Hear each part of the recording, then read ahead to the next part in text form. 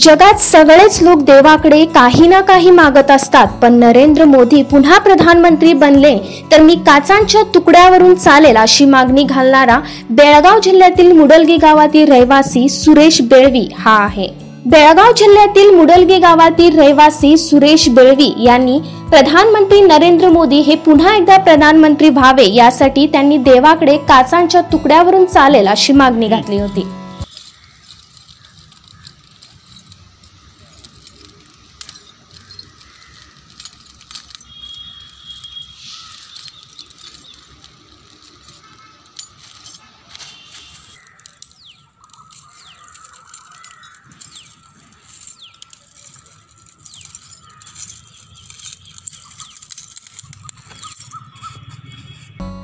व प्रधानमंत्री नरेंद्र मोदी हे पुन्हा एकदा प्रधानमंत्री झाल्याने त्यांची ही मागणी पूर्ण झाल्याचे दिसत आहे.